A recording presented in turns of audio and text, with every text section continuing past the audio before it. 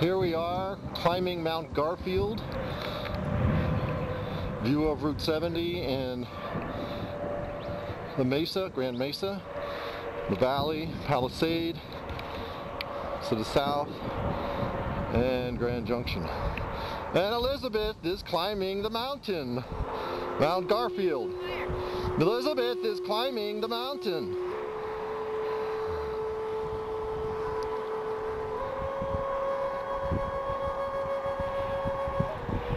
Look at that strong hiker, bulging leg muscles.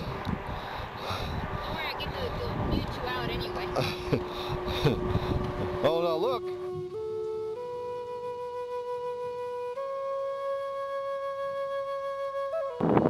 Here's Elizabeth climbing a steep section of Mount Garfield. She's uh, feeling the altitude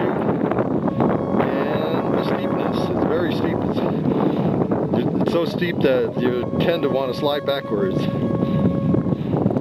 But she's struggling. She's doing good like a trooper.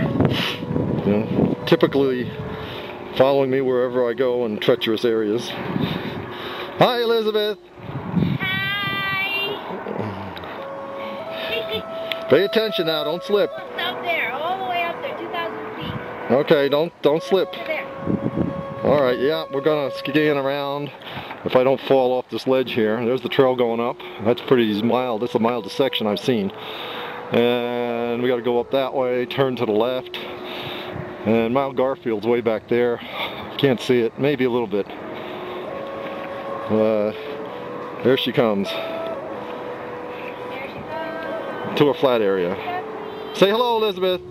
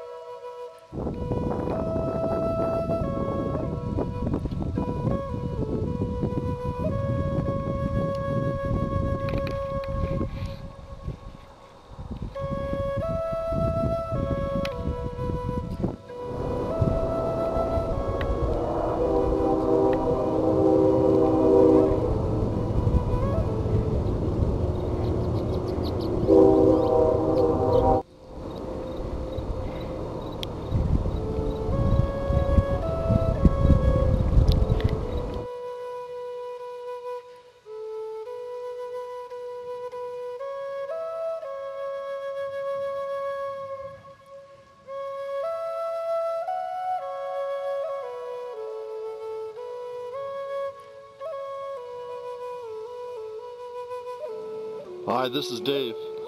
I'm on top of Mount Garfield, a prominent peak on the Book, Book Cliffs near our house in Grand Junction. And this is the ridge of the cl uh, cliffs looking northwest. Just panning towards the valley, there's a big kind of a wasteland on the north side of town. A lot of art RVers use it, boy, they love that. And we're heading down towards uh, the main route, business route, and the Colorado National Monument on the other side of town. Colorado River runs through it. And we're scanning down south, kind of towards the San Juan Mountains. And over to the Palisade area on the east side of town, and up on the Grand Mesa, which is 10,500 feet, 200 lakes panning around again to the top of the mountain here, the kind of a big plateau.